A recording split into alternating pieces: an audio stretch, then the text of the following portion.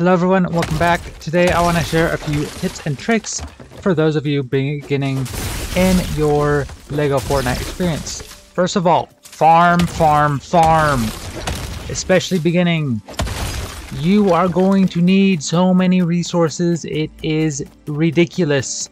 It seems like you never have enough granite, wood, marble, or whatever the resource might be.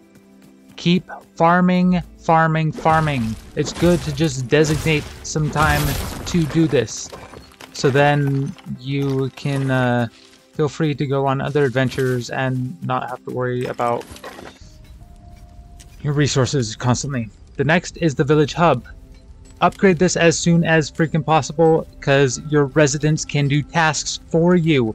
And the higher leveled it is, the more residents you can hold. So they can go do the gathering for you, which is highly recommended. And I really enjoy that aspect of it. Okay, moving on to the next one uh, are some movement things is uh, you can roll forward and that is when you're running forward and you push control um, and if you are just standing there and you push control by itself without any sort of movement it'll jump backwards. The next is food buffs. Pay attention to the different foods because they give you different food buffs and environmental things added heat frost resistance things like that. Extra extra hearts. Uh, now we're taking a look into the caves. Mine the resources that you can and go to these things early on as soon as you can um, and I recommend taking several tool sets of tools with you because you will go through them very quickly. Um, the next is bows. Bows in this game are actually kind of OP in my opinion.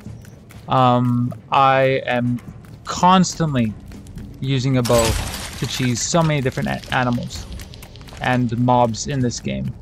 As you can see, I just took on this weird skelly goblin creature and uh, now I'm taking on one of these little stupid little roller dudes like a wannabe roly-poly crab thing.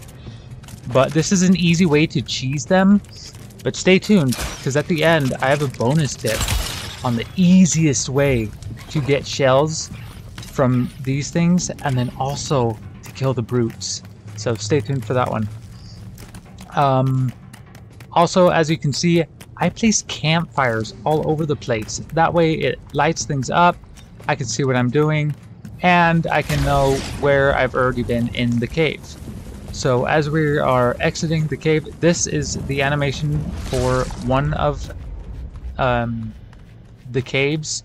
They do have several different animations depending on the biome you are in.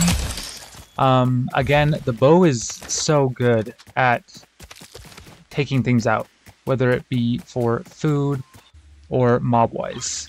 Uh, here I hopped in when it was night so I could show you taking on some other night mobs.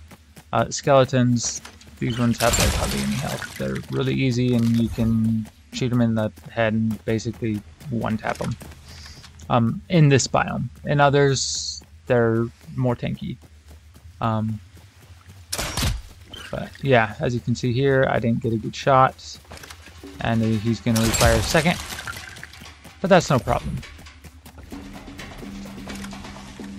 Um, uh, another thing that I am about to show you is using mobs to fight each other so that you don't have to do as much work.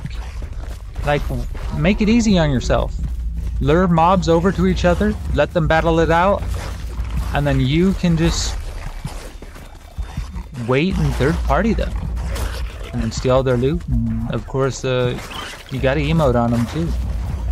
So as you can see here, I was uh, doing it with the skeletons and the wolves. It was quite easy. Um, and that movement I showed you, the rolling around and those back jumps, is uh, really good at evading different attacks. This next one deals with using mobs to farm resources for you. Ones that are really good at this are, of course, the rollers, but the best ones by far, in my opinion, are the brutes. These things are crazy at destroying the environment around them. Uh, it, they are more nerve-wracking because uh, early on you will literally get like one tapped by these things by them. But if you can, use the rollers and the brutes to do your farming for you. Uh, Peely's doing a little victory dance here. And yeah, hope you guys have fun. Take care now.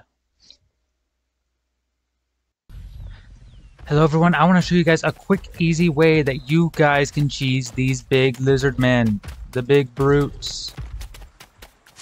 Get to a body of water and then you're going to aggro him and get him to basically run after you. Come get me. Go into the water. And he dies. He dies. Um, this trick also works on the rollers, so in case you are in need of those shells, you can cheese them in this very same way. Good luck.